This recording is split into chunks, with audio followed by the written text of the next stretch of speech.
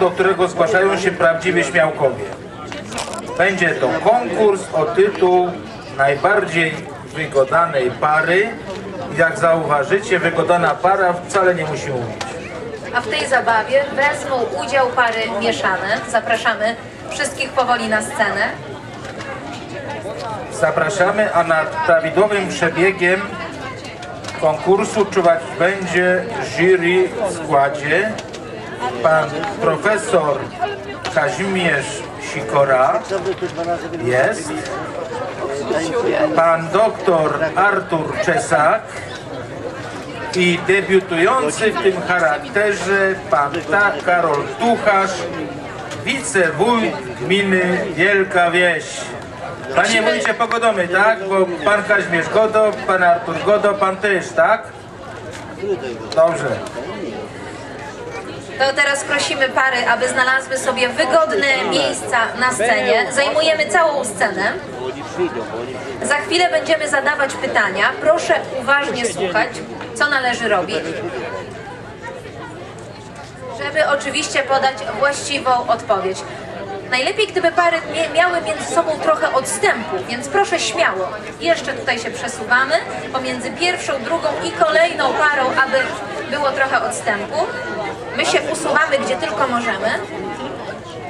Tutaj mi pan powiedział, żeby się posunął, nie, nastąpił, żeby na drzewa nie na, na, nie na tarasie.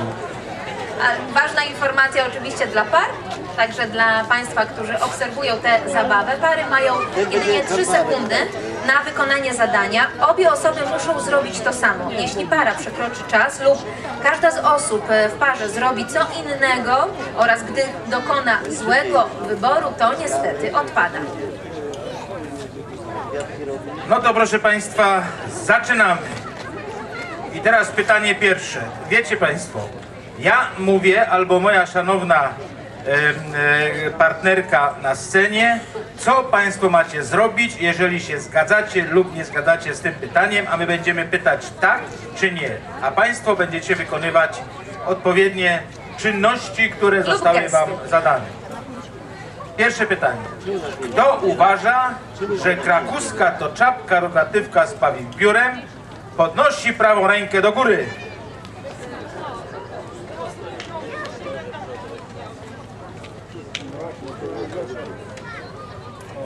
Jury obserwuje.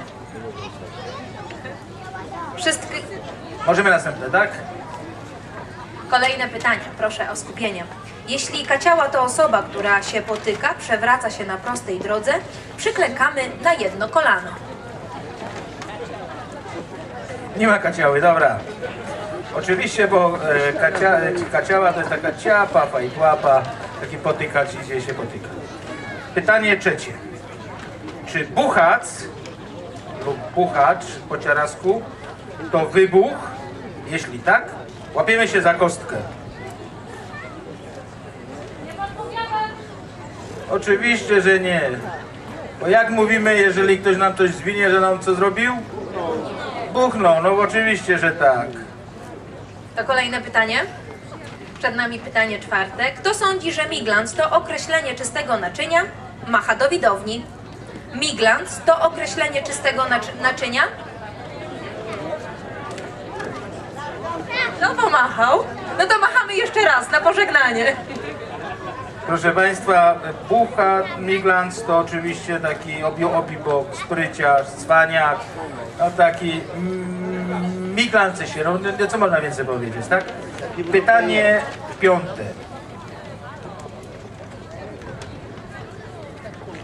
No to miał Miglans, no pani przyszła i mówi, że jej mąż miał na przezwisko, no, no, inaczej ksywę Miglans.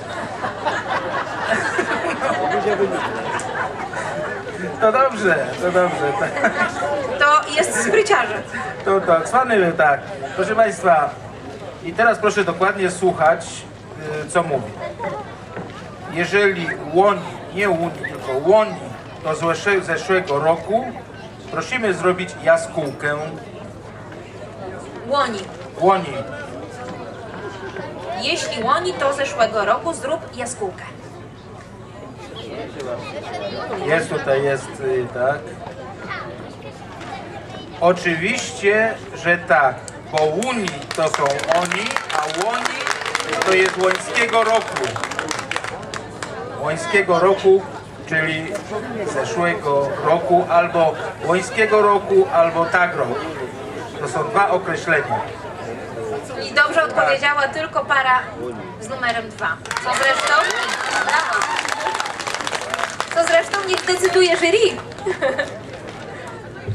Może odrobinę łaski w tym momencie zastosować? A jednak. Para numer dwa dostaje punkt na zapas. Mają szansę. Proszę Państwa, i teraz też proszę słuchać e, e, dokładnie. Czy podać się na kogo, podał się na nią, to znaczy podszywać się, pod, podszywać się pod niego.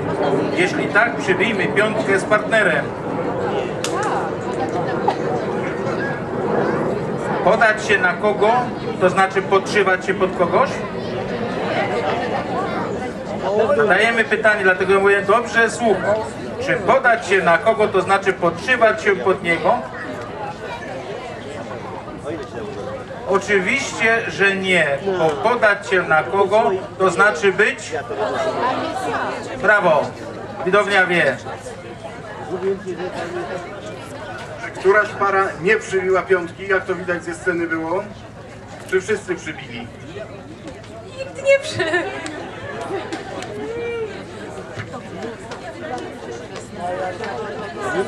Tak?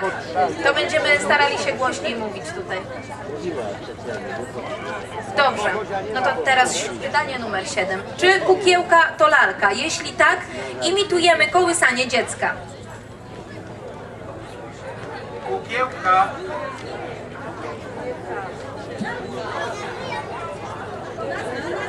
Proszę Państwa, lalka to jest kukła, a kukiełka to jest długa bułka.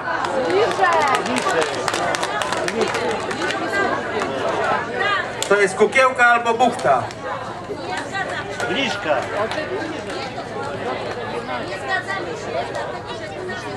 Oczywiście.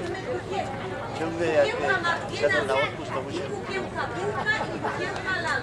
Ale proszę Państwa, zauważyliście, że my mówiliśmy, że opieramy się o słownik Bronowski słownik, ale w naszym słowniku takim samym jak Bronowskim jest nazwa kukiełka. Dobrze, dobrze.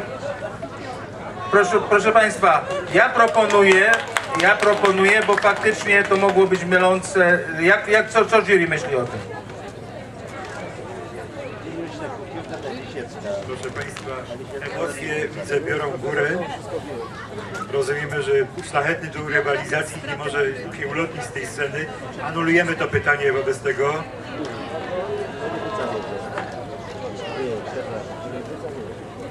Zatem kolejne pytanie. Proszę Państwa, i teraz, jeżeli dreuch to kogut, naśladujemy pianie kukuryku. Nie naśladuje, a jak on pieje, to się dre. Oczywiście, że dreuch to jest kogut. Jest w słowniku napisane pod tym dreuch. No i co, te nagrody na przyszły rok mają przejść? Tak. Dziewiąte pytanie. Czy przezbywać się to pozbywać się zbędnych rzeczy? Przezbywać się. Jeżeli tak, odwróci się do partnera plecami.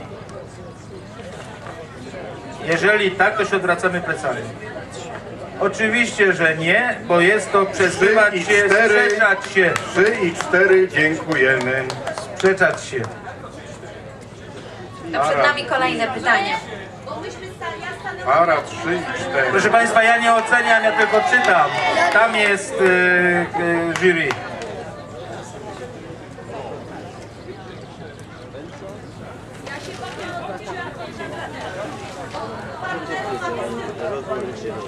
Dobrze, proszę Państwa, co jury?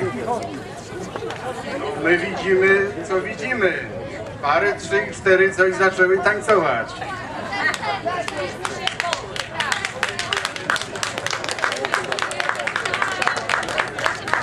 Dziękujemy bardzo. Proszę Państwa, przyspieszymy trochę. E, Proszę, czy Kumowska to matka chrzestna? Obejmujemy się wzajemnie. Wszyscy odpowiedzieli bardzo dobrze. I kolejne jedenaste pytanie. Jeśli uważasz, że bajtel to mały chłopiec, stań na prawej nodze i podskocz dwa razy. Bajtel to mały chłopiec? Oczywiście, że tak. Kto nie skacze, nie zna gwary.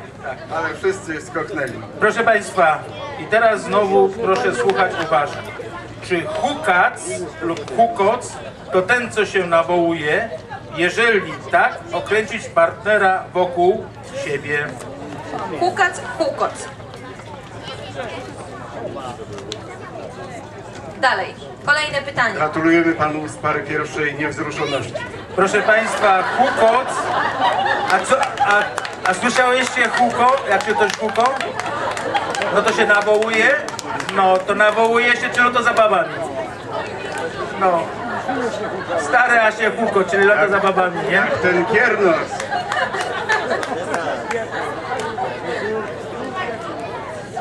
I kolejne, uwaga, kolejne pytanie. Jeśli spyrlać to oszczędzać, składać pieniądze, łapiemy partnera za ucho.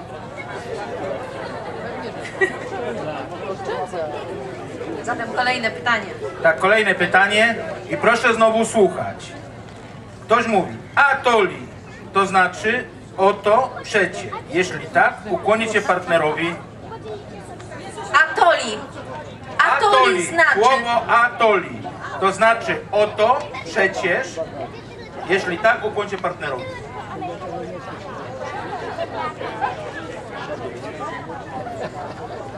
No to słowo jest słowo atoli. A, a może być w zdaniu atoliun, proszę Państwa. No więc w piątce dziękujemy za udział. Brawa dla pary numer 5.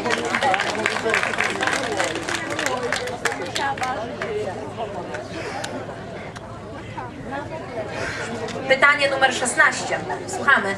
Jeśli maczanka krakowska to zupa, robimy przysiad. Jeśli maczanka krakowska to zupa, rosi- robimy przysiad. Jury? W ten oto sposób zostały dwie pary. Proszę Państwa, bo maczanka krakowska to jest prababka Burger Kinga. Para 6-7 do restauracji. I to mówię całkiem poważnie, to nie jest tak, bo Burger King, nasi starsi, znaczy maczankę krakowską, nasi starsi bracia w wieże zabrali za ocean i po prostu z tego powstał Burbę Burger King. Najpierw w, hamburgerze, w, Hamburgu, stąd był hamburger, a później pojechał do, do, do, do Ameryki. I teraz, proszę Państwa, jeśli to prawda, że określenie centuś wzięło się od monet austriackich, złapmy się za łydki.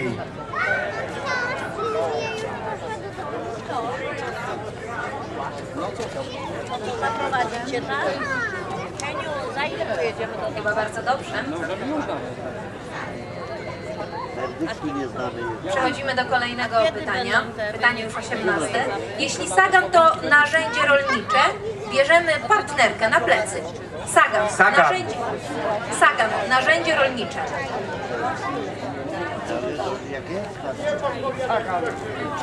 Oczywiście, że nie, bo sagan to jest czajnik. No. Żyta tym nie zasiecę. I teraz, proszę Państwa, podchwytliwe pytanie. Czy Polok to imię Polek? Jeśli tak, łapiemy się za głowę. Pani z pary pierwszej łapie się za szyję, to. Nie wolno się łapać za szyję, bo pani pokazuje. Oczywiście, że nie, bo wolok, bolok to jest wrzód, jak jest najgorzej, to jest jak jest bolok na rzodku. Ale przechodzimy do kolejnego pytania. Jeszcze pozwólcie Państwo, że jeszcze jedną rzecz ustalimy. Bardzo prosimy widownię, żeby nie rozstrzygała, z, y, rozstrzygała tego konkursu zamiast uczestników, dobrze? Nie podpowiadajcie tak głośno. My tu obserwujemy z góry. Kto będzie podpowiadał, zaraz wystąpi tutaj i zaśpiewa nam piosenkę. No, pod, to podpowiada, wychodzi na ochotnika i śpiewa, dobra? E, Proszę Państwa, i teraz trzeba też uważać. Jeżeli sądzisz, że luj to osoba, która przesadnie dba o swój wygląd, zrób ramionami młynek. Luj, osoba, która przesadnie dba o swój wygląd. Jeśli sądzisz, że Oczywiście, że nie, bo to jest niech luj. Tak. Jeżeli Andrus to nie jest nazwa smakołyku, szczypiemy partnera w policzki. Andrus. Nie. Dobrze. Jeżeli Andrus to nie jest nazwa smakołyku, szczypiemy partnera w policzki.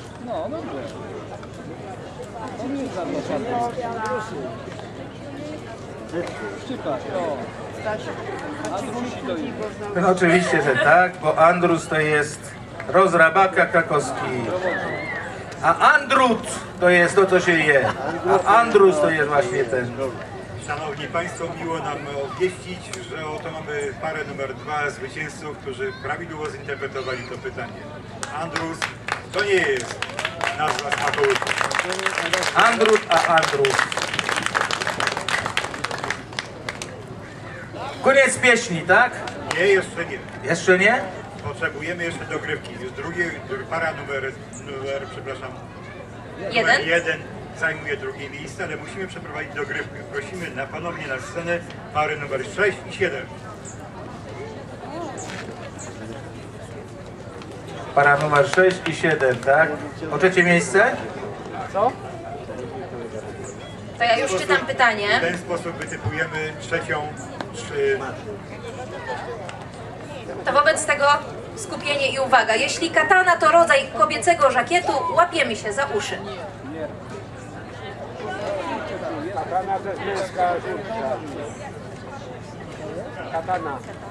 Oczywiście, że tak. K7, prawidłowo.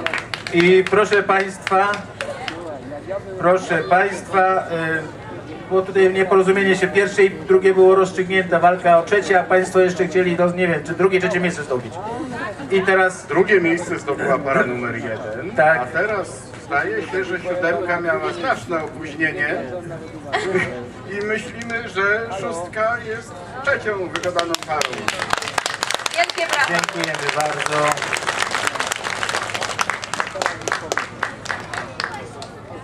Zatem zapraszamy na scenę jurorów, którzy wręczą nagrody zwycięzcom. Proszę jeszcze zostać. Zwycięzcy zostają na scenie i zapraszamy jur jurorów.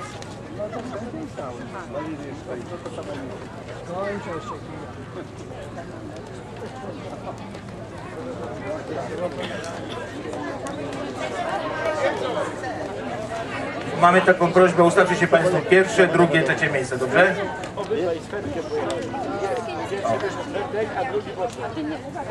No nie pojechać do domu.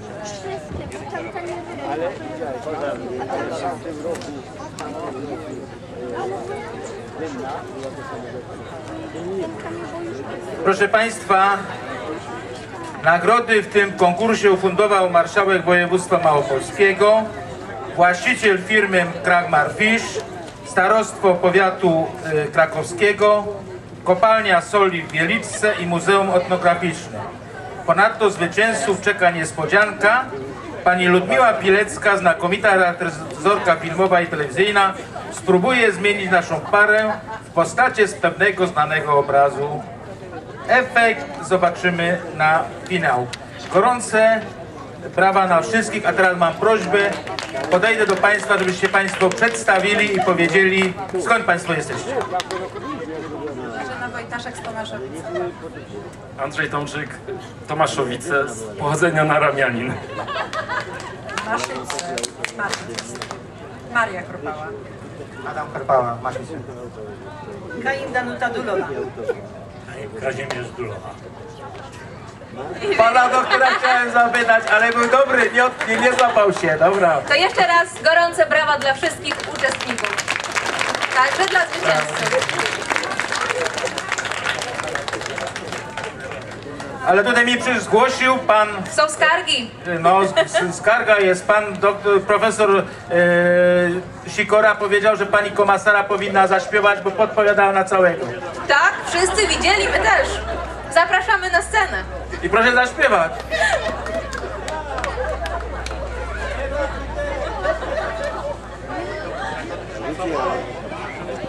Za karę chociaż chwilę trzeba teraz zaśpiewać.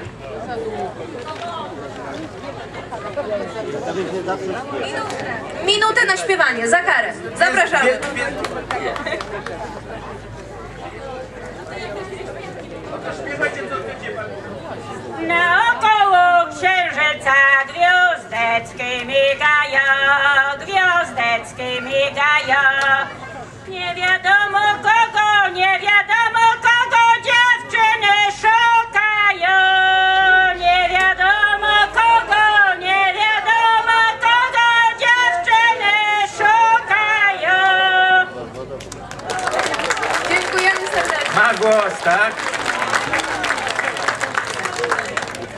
Dziękujemy bardzo. I teraz zapraszamy, dziękujemy Państwu. Jak widać jest niedosyt. Zapraszamy wszystkich.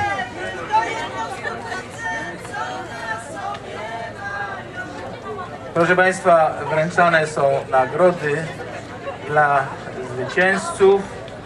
A teraz mam pytanie do Państwa, bo nagrody są wręczane. Odpowiedzcie, locego koko do dnia pieje? Ja pieję, bo, bo później jak e, Bo bajklok kury wstaną, to może se po ha, e, ha, harasić, bo jak kury staną, to będzie miał gówno do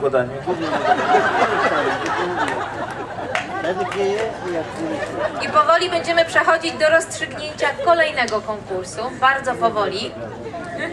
Tak, Państwu już bardzo serdecznie dziękujemy i gratulujemy. A my mamy dla Państwa jeszcze niespodziankę. Proszę Państwa, a teraz będziemy mieli niespodziankę. Zaprosimy na e, scenę. Najbardziej wygodoną parę, Prosimy. która przeszła Proszę metamorfozę. Państwa, no, no niestety szkoda, że mieliśmy w scenariuszu, żeby powiedzieć co, kto to jest, bo jakbyśmy go zaprosili i przedstawili, to nie wiem, czy byście właśnie, poznali. Zdradziłam wszystko niepotrzebnie. No, tak było w scenariuszu, ale zapraszamy. Stasek ze swoją lubą. Zapraszamy Państwa i oczywiście Panią Ludmiłę Pilecką i Marię Braniecką, które wykonały tę metamorfozę. Saska poznaliście?